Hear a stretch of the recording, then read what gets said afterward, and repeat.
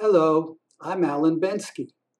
I'll be teaching the course Wireless Positioning and Location Technologies on Wednesday, June 15th.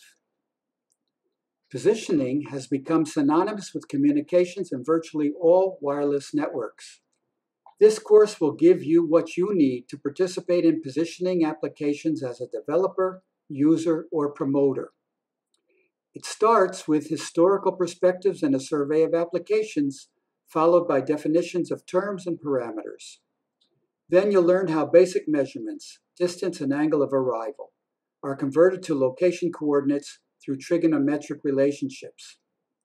The course goes on to describe the fundamentals of measurement methods, including, for example, time of arrival and received signal strength. After digesting positioning basics, we progress to reviewing satellite navigation, where you'll learn how signals from space vehicles many thousands of kilometers away can pinpoint a receiver position to within tens of centimeters and even better.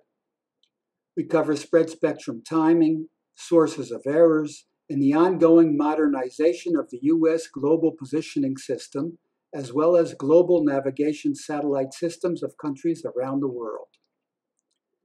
Cellular networks are arguably the most visual platform for location technology in the eyes of the general public.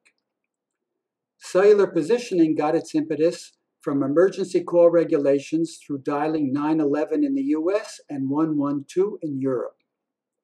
No one technology fits all circumstances, and so we learn about inherent positioning based on cell ID, handset based network assisted satellite navigation, and other methods which are more suited to dense urban environments and indoor location.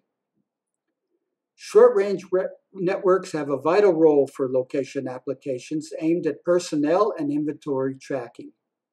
That's why we included in the course a survey of positioning methods applied to RFID, ultra wideband, and wireless personal area networks, and also, of course, Wi Fi.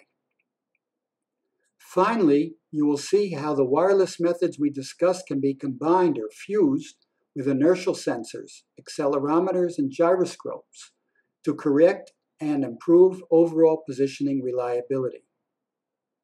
If your work entails some aspect of wireless location, or if you have a strong curiosity to learn how the different technologies work, then this is a course for you.